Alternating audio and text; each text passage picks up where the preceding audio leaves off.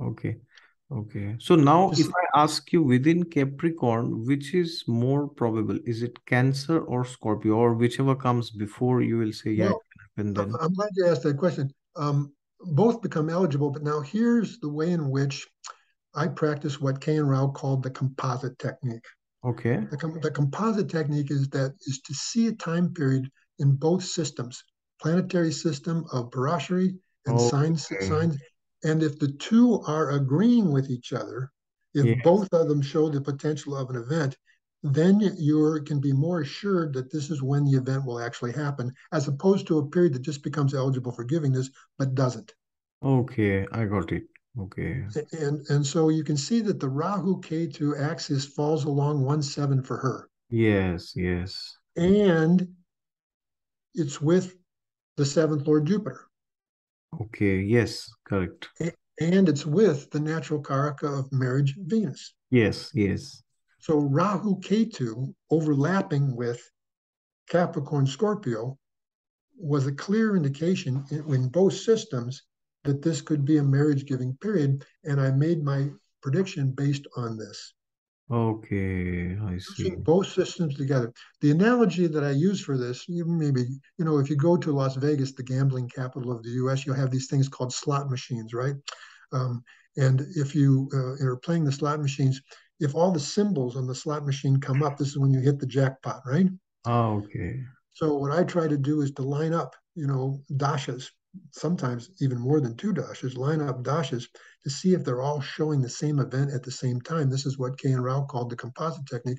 And then transits come into play. Hmm. Okay. Mhm. So there's three things involved in a prediction. Yes. Okay. First of all, there has to be the static potential. Okay. You know, you're not going to predict great wealth on a chart that doesn't have any high quality Dhan Yogas. Okay. I see. it, does it doesn't matter what period you're going to run, it's never going to come because there's no static potential. Okay. Okay. So inherently the chart has to support first and then we see the dashas. Correct. Then the dashas have to activate that potential.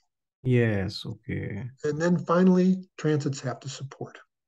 Okay. And as you said, like Dhan Yogas, like just as a passing remark, I would like to ask you, like in Jaimini, apart from the conjunction or aspect of Atmakaraka and Amatyakaraka, so is it a Dhan Yoga or what other Dhan Yogas? Well, we- they, there, there are ways in which you see wealth potentials and when they get activated in the Jaimini system that are different from Parashara. But Okay. the, the, you know that that's a little too complicated to go into in this presentation. But Okay. um, I will mention that there's a special lagna called the Arudha lagna or Pada lagna. Seeing the second and eleventh house from there in the Jaimini system is one of the ways in which you see wealth potentials. For example, Okay. I of course, there are combinations that you know give that. Moon Venus is, is especially highlighted as being a, a, a wealth, and you know in this case it's it's uh, you know she married someone who was uh, quite affluent. I, I don't know if I'd call them you know wealthy, but you know they made half a million dollars a year, so you know that's Okay. that, that's pretty affluent. Yeah, quite And so, and, and so so you can you can see the the Venus Moon combination, which is connected to the seventh house there, um, Yeah. in her in her case, and and think of the Dhan Yogas from the Parashari point of view. Venus is an exalted second and ninth lord. Saturn's the fifth lord, Yes. and, and both of the both of that's a five nine Raj, Dhan Yoga combination from the Parashari point of view, falling in the seventh house. Yes, yes, yes. But now let's go on here. What house of the horoscope is Capricorn? Capricorn or the fifth house. Fifth house. She Mhm. just got married. Ah, okay. and, and what Karaka does it contain? Ah, it's the Putra Karaka, is it? Yes. Ah, child, okay. So, so, so what is my prediction going to be? You're gonna have a child. Yes, I predicted the the, the, the uh, birth of both of her children. Okay, that's great. Okay. How simple is that? And uh, and here, like, uh, does Jupiter have any special rules? So, for example, in Capricorn, if Virgo would be activated, would we say it Well, no, no.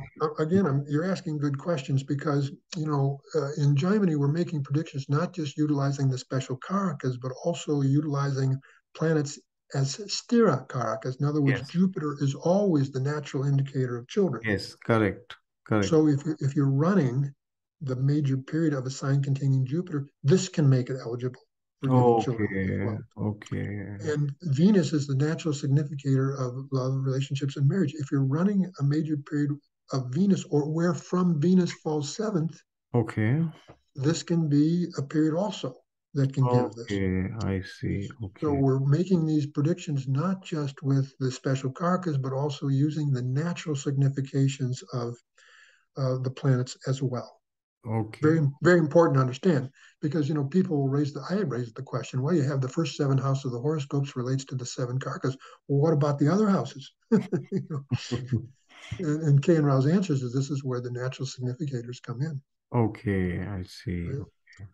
So um, this is a chart in which um, I'm demonstrating in a very simple way how predictions about career rise, about marriage, and about childbirth.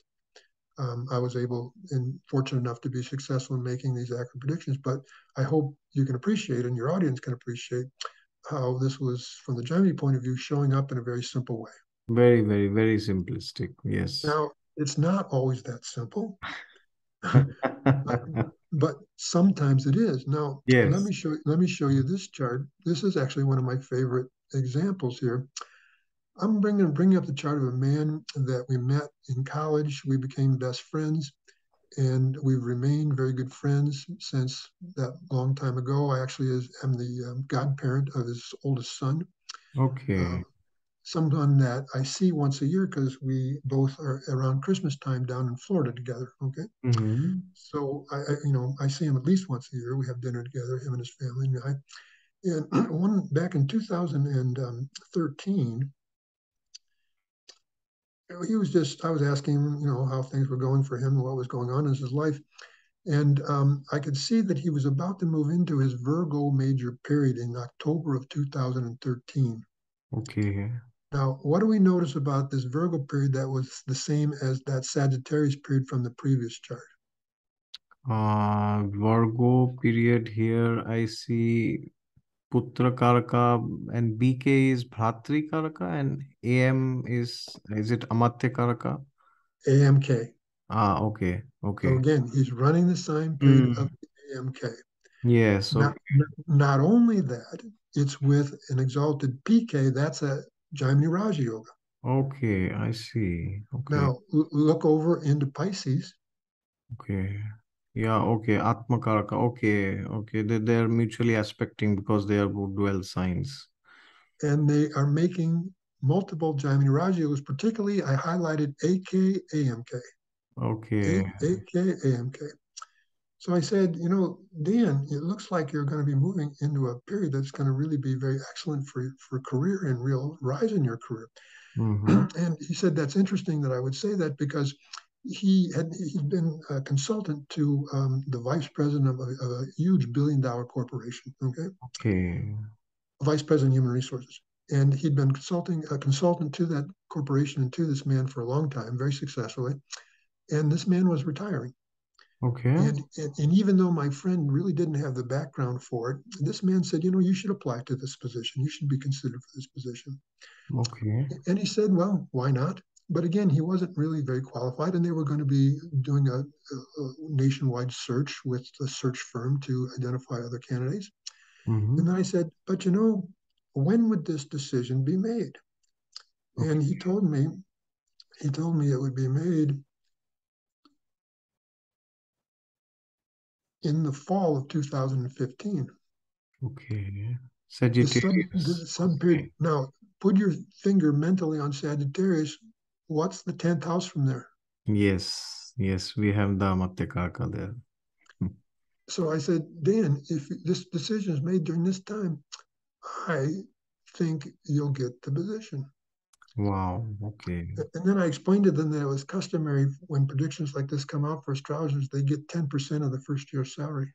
Okay. I Okay. was, I was just kidding. I was just kidding. that was that, that was just a joke. But I told him that if he did get the position, he owes me a dinner, um, which Wow. uh, which I which I which I collect. Now I saw this, and again, I'm not trying to toot my own horn. I'm just saying I'm trying to advocate the beauty of the Jaimini system. I could make this assessment in a matter of seconds. Yes, perfect.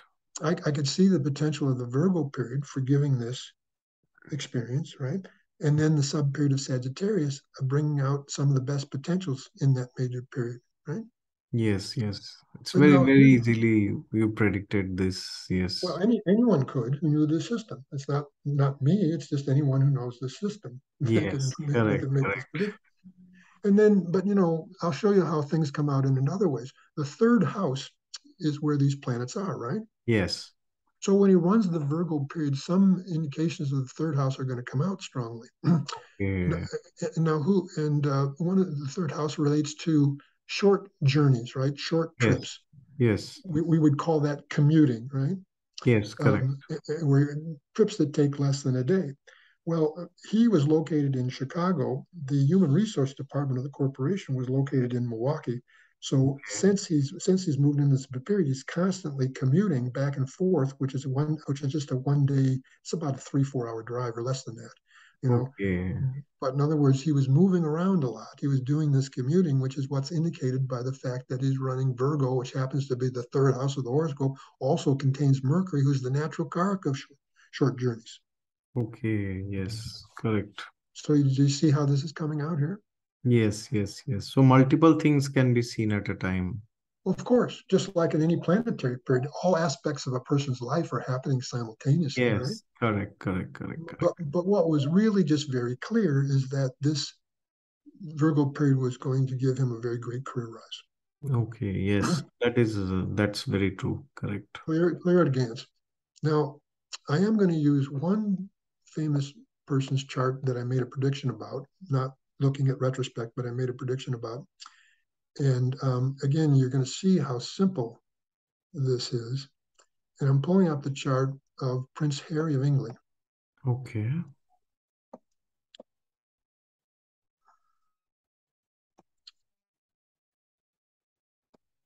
if I can find it here. Mm.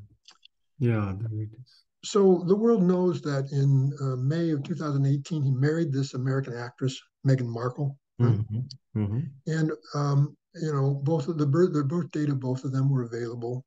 And so, you know, I didn't predict the marriage because I wasn't looking at that. But um, I wondered if how soon they would have children thereafter because both of them were in their early 30s. Mm-hmm. Um, I suspected they probably wanted to have children. And so I wanted to see if I could predict when uh, that would happen, right? Okay. And um, so I'm looking at his chart, and um, the period is uh, Libra, Okay. which you can see ran from age 24 to 35. Okay. Now, bear in mind that he married in 2018, Mm-hmm. Okay. in, whi- in which case, for about a year's, a little over a year's period after that, he was going to be running major period of Libra, sub period of Libra, Okay. which Jaimini Karaka is Saturn. Saturn here. Oh, okay. Putra Karaka in Libra. Yes, correct. He had their son, Prince Archie, in Libra Libra. Ah, okay. I predicted it. Okay. I see. Okay. How simple is that? Yes, yes. It's like you see the Karaka and then it's down. Well, what what Libra clearly shows, because it contains the PK, it shows the potential of giving a child. Yes. Okay. Now, that doesn't mean it's always going to do that, Mm, but it shows the potential because the PK can mean other things as well. right? okay. Um, but it, it definitely means children. And what sub period becomes exceptionally or, you know, um, particularly eligible for bringing this, the sub period of Libra itself. Yes, correct. Correct. So um, this is an example of when I predicted um, the birth of a child uh, in the charter. I did it to a group of students, and then you know I, I, I, it was posted in a Facebook group. Um, is when Okay. I gave the prediction, and of course I was looking at her chart as well. Okay. Now you'll see that because you mentioned, you know, well, how do we use the natural significations of planets? Mhm. I'm going to pull up her chart, and you'll see that in her case, um, well, I'll let me pull the chart up, and then I'll explain what I was seeing then. And so so I'm coordinating these two charts because if he's having a child, she's having a child, right? So um, you know, you want to see the um, the confluence the Yes, fact that the, the, the, the same event is showing up in both of these charts um, at the same time, correct. which was which was mid-year. I was predicting it for mid-year uh, 2019 is when they had, you know, their first child. Here's her chart. Hold on. now, who's the uh, fifth lord of this birth chart? Mars, Who's the PK planet with the fifth highest degrees? uh, Saturn. And where is Jupiter, natural Karaka of Ah, children? okay. Virgo, yes, okay. And what period has she been running since 2012 up until just recently, and where she's had two Uh, children? Is it Sagittarius? Right. Okay. Who does Mars as the fifth lord, Jupiter is the natural indicator, and Saturn is the PK, all aspect okay. Sagittarius. Yes, yes, okay. Yes. Now I'm showing you how a sign becomes eligible for giving an event just by getting the aspect of these. Okay, okay. But of course, it's going to uh, also happen in a certain sub period that becomes more eligible than others for giving this. Um, and um, well, this is where it, it becomes not as obvious. Um, but the sub period was Aquarius. If you use Aquarius as a lagna, the fifth house becomes Gemini. It contains the fifth lord and gets the aspect of Jupiter, natural indicator, and Saturn as the PK. Okay. So this is what I was seeing. And it was on this basis that I predicted they would have this child in mid, Okay. in, in mid-year 2019. Okay, interesting. Now, now I want to show you a case of a prediction. You know, K.N. Rao, his mother uh, was a very, very good Jyotishi. It's it's from whom he first learned Jyotish. Rao, Okay. Mm-hmm. and she and she specialized in two questions: when a young girl would marry and when she would have children. Okay. Great. And so um, he wrote a book called Planets and Children, where he shares the techniques given by his mother, not just for predicting the birth of a child, but predicting the birth of a child within days. Oh, interesting. Okay. So I, this year I wrote an article titled, um, the subtitle was uh, The Fine Timing of Childbirth. And I, I used as an example a prediction I'd made uh, that I was fortunate enough to predict when the child was born within less than 24 hours. Okay, that's that's great. That's great. But of course, you start with major periods that show eligibility for giving this, right? Yes. So if you look down at the Charadasha, you can see that this is a, this is a chart of a Russian woman student of mine.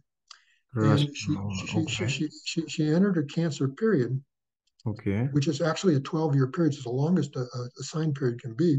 Okay. Who does cancer contain? Yeah, the Putra Karaka and Jupiter, like Both. yes. Jupiter, Jupiter, Jupiter is both the natural indicator. It's also the PK. Yes. What is its what is its condition? Yeah, it's exalted there. So you know that this period is going to be very eligible for giving children. Hmm, And before before I actually met her, which was back in 2016, she had already had it one child in this period. But now, what sub periods? One of the techniques that is utilized is what's called dasha lagna. We use Cancer, the Mhm. major major period, as Yeah. if it's a lagna, and see what happens to the chart from there. Okay. So mentally use Cancer as a lagna. Which house becomes so emphasized, so prominent, has the most planets from there? Yeah, Scorpio, of course. And which house is it from Cancer? Fifth house. Fifth house. And you'll notice that it also gets the Rashi Drishti of Jupiter as the PK Ah, on, okay. on. And from there, it has its own lord in its own house, which would be Mars. Ah, okay. Because Cancer aspect Scorpio, that's why, yes, correct. Yes. So clearly, what sub period holds the potential for Mhm. giving her another child? Correct. Scorpio, yes, very true. This is what I predicted. Mm, okay. Okay. And then using finer levels of the dashas and transits, even the transits of the moon, that's how I um, predicted the child was born on, uh, I predicted the child would be born last September on the 22nd. It was born late in the evening on the 21st. Wow. Okay. And again, I'm not trying to say, oh, I'm such a great astrologer because I can do this. this is what I learned from K. N. Rao. The credit is his. Yeah. I just I, I just applied his techniques, which always were very brilliant. Right? Yes, correct. Brilliant. I, I like to say my astrology is just a pale imitation of K. N. Rao's. You know. So Well, it's um, indeed like very good that you are giving all the credits to uh, K. N. Rao sir. So yes, that's very good. no, well, it's it's it's just what's true. Now, of Yeah. course, I've I've gained from my own experience now 27 years doing Jyotish. I've learned a lot through my own experience, but really the basis, most of the basis of what I've learned was came- came from what I learned from him and through his example and researching things. So this was a, a, example, but you know, probably the question I've been asked more than any other is about marriage, you know, and uh, particularly from women, right? Um, you know, K. N. Rao, when he first came to the U.S. and was giving consultations, he called this the number one question in the U.S. Mm, okay. Every, every everyone he consulted with, which to a large degree was a lot of women, um, especially if they weren't married or in a relationship, this is what they wanted to know: when, if when, if a relationship was coming in their life, and if so, when. Mm, okay. So you've probably heard the name Deepak Chopra, right? Yes, yes, yes, yes. So at one point, I was affiliated with Deepak. Uh, I was brought into his center in La Jolla to teach Jyotish. I did classes there, and um, you know, I got to know the people around him. One of whom was his publicist, and this chart belongs to a woman who was his publicist. And at that time, um, when I was around her, she had gotten into her mid 40s. She had had a lot of different relationships, but had never married and really wanted really wanted to marry and was looking for what she called a soulmate, somebody who could become a life par- life partner, right? And she asked me if I could predict when she would meet her soulmate. I told her I couldn't predict necessarily when she would meet her soulmate, but I could indicate um, when I thought there would be time coming up in her future that would be very relationship giving. Okay. So what I was seeing, and this was in uh, late 1996, what I was seeing is that she had just recently moved into her Aries period. Okay. Okay. Now, use Aries as if it's the first house. Yes. Look in the seventh house from there, which would be Libra. What do you see? Yeah, I see the Darakaraka in exaltation. See the Darakaraka. So clearly, I was seeing that Aries showed a strong eligibility. So then it was a question of sub period. Mm, okay. And um, uh, one of the ones I was looking at now, of course, which house of the horoscope is the seventh house? Which sign is on the seventh house? Oh, Taurus. Taurus. So the first sub period that showed some strong eligibility this way was Taurus. Why? It's simply because it's the seventh house of the horoscope. Okay, I see. But of course, I'm coordinating this with what I'm seeing in the Vimshotri Dasha, 1997. Okay. I saw that she was running major period of Saturn, sub period of Mercury. Okay. Now see the Navamsha. mm-hmm. Oh, Who's, okay. who's, who's the seventh lord of Navamsha? Yes, Saturn. Yes. Who's in the seventh house? Mercury. Do you see? Yes, yes. Perfect. And so I predicted in this, and she met this man who she now considers her soulmate, and she's been Okay. married ever since. Been married ever since. Oh, wow. Okay. That's great. Okay. So this was an example. Now, um, let me show you another example. And I'm purposely showing example of women older, you know, who, um, you know, may have never been married, or maybe they've been married and they divorced, they want to be remarried. Um, Okay. you know, this was the case here when this woman first consulted with me, which was back in, um, uh, let me get this up here, back in the late 1990s, or actually, I think she'd gotten out, it was, she was 53 at the time, okay? Or no, she was maybe maybe 52 at the time. But anyway, sometimes you get lucky, okay? Once people consult with you, in that you, you know, they're asking you a question and you can actually give them the answer that they want to hear.